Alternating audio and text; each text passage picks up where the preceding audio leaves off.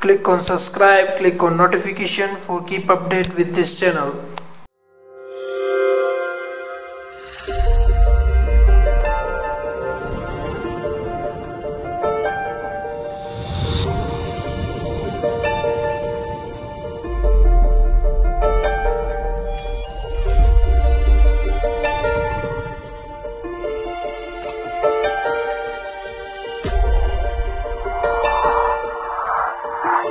Ha ha!